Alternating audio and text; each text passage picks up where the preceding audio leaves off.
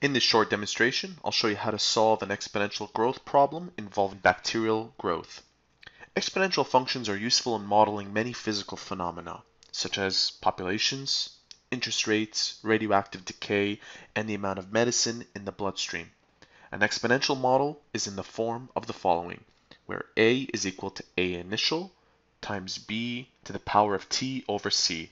This big A represents the final amount, this represents the initial amount.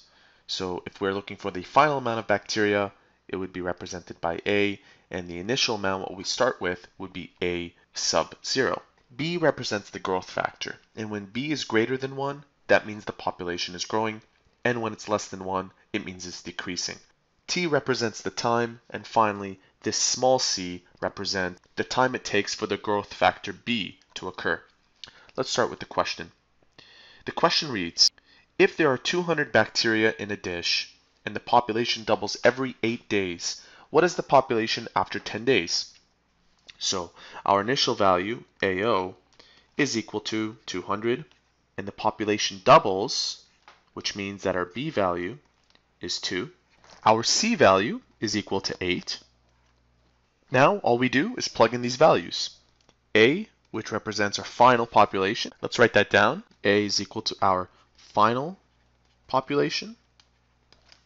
A is equal to 200 times B, which is 2 to the power of T over 8.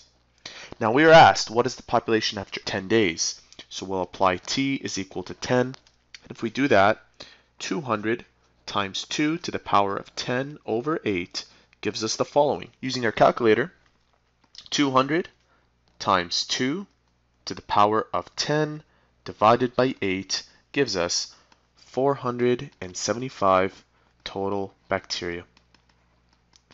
And there you have it, the solution to our first question where we learn how to solve an exponential growth problem. If you found this tutorial helpful, please support our channel by subscribing or by liking this video. If you have any further questions, you may visit our website at studyforce.com. We are an online service for students seeking free homework help. See you soon.